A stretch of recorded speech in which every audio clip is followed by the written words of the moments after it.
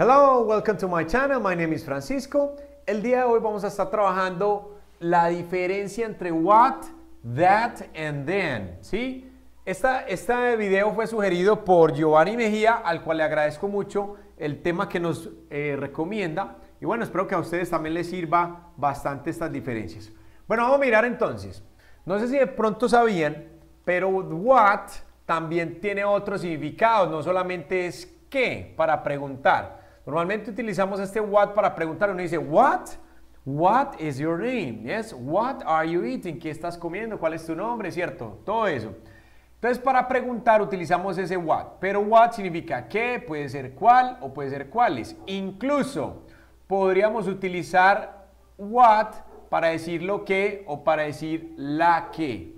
Uy, Pacho, esa no me la sabía. Sí, señores. Estas dos se pueden utilizar también, pero ya no para pregunta. Entonces vamos a mirar la diferencia. Aquí tenemos las otras, si quieres las miras, pero vamos a enfocarnos en este what por ahora. Por ejemplo, ¿qué, cuando, utilizamos qué? Por ejemplo, cuando dices what is this? ¿Qué es esto? ¿Qué es esto? Es una pregunta. Cuando decimos cuál? Entonces cuando decimos, por ejemplo, what's your favorite movie? ¿Sí? What's your favorite movie? ¿Cuál es tu película favorita? What's your favorite movie? Ahí está. ¿Cuáles? Entonces, cuando es cuáles, ya no podemos manejar la parte de is. Recuerden que acá es forma corta. Tú puedes decir what's o puedes decir what is, ¿cierto? Pero es más, es más común utilizar esto. What's this? O what is this? También puede ser. Cualquiera. What's your favorite movie? Ahora, cuando estamos hablando de cuáles, ya no decimos entonces what is, sino cuál. What are, sí señores, what are. Cuando es plural, entonces what are. What are your books? ¿Cuáles son tus libros, por ejemplo? What are your books? Entonces mire que allá tenemos qué, cuál, cuáles. Ahora vamos a ver lo que y la qué. Por ejemplo, eh, this, perdón, this is what I do. Esto es lo que yo hago. ¿Sí ven? Esa es la forma de utilizar entonces este what también allí. ¿Cómo la vieron? This is what I do. Espero que les haya gustado esa parte para que la practiquen bastante. Vámonos entonces con that. That también se puede utilizar, ¿cierto? Es un adjetivo demostrativo que lo pueden utilizar, pero adjetivos demostrativos hasta esta parte. Entonces, eso es a ese, ¿correcto? Sin embargo, that también es una conjunción que podemos utilizar para conectar palabras. Por ejemplo, algo como esto. Él me dijo que, he told me, he told me that, sí, él me dijo que, he told me that it, sorry, it was beautiful. me dijo que era bonito. He told me that it was beautiful. Él me dijo que era bonito. Entonces, ¿cuándo vamos a utilizar este qué?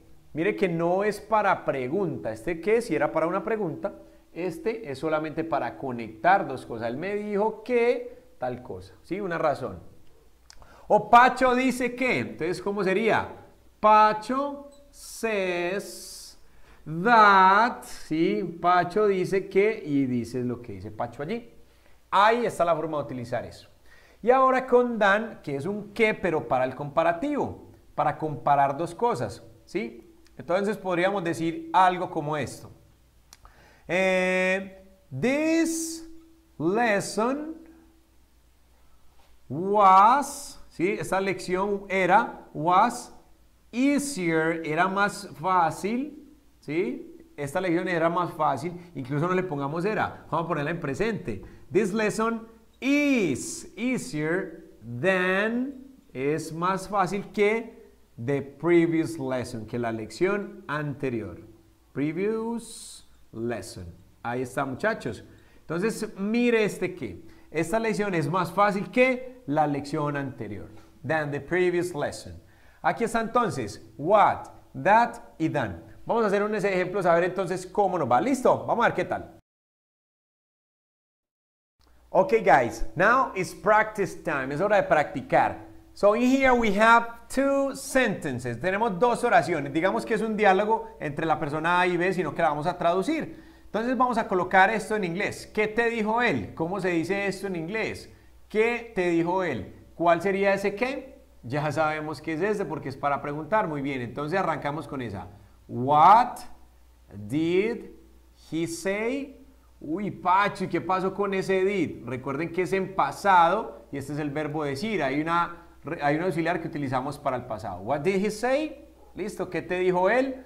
Y vamos a responder. Lo que él me dijo fue que en inglés era más fácil que español, ¿cierto? Entonces, ojo con este. ¿Cómo es lo que?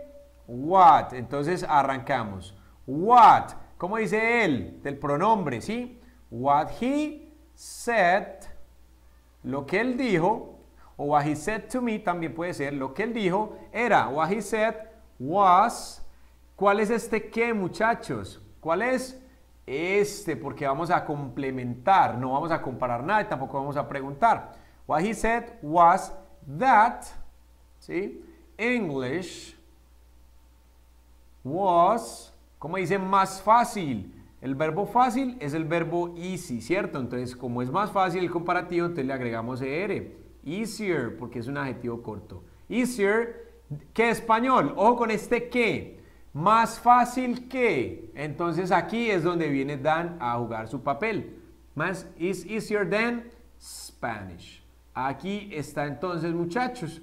Entonces, what he said was that English was easier than Spanish. Ahí está entonces para que lo pongan en práctica muchachos. Espero que les haya gustado. Ya sabe, suscríbate, es gratis.